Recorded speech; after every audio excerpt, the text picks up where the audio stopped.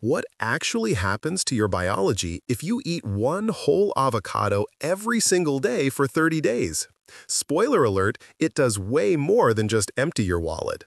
First, your blood work changes. A study from Penn State found that one avocado a day significantly lowers oxidized LDL particles. That is the toxic, bad cholesterol that clogs your arteries. It's thanks to oleic acid, the same healthy fat found in olive oil. Second, your gut microbiome gets a makeover. A study in the Journal of Nutrition showed that daily avocado eaters had higher gut bug diversity and excreted less fat. With nearly 10 to 13 grams of fiber per fruit, you stay full longer, which often leads to inadvertent weight management. And finally, your brain gets a boost. Avocados are rich in lutein. Research from Tufts University suggests that high lutein levels in the brain are linked to better memory and problem solving. Plus, it protects your eyes from blue light damage. So after 30 days, better arteries, a happier gut, and a sharper brain.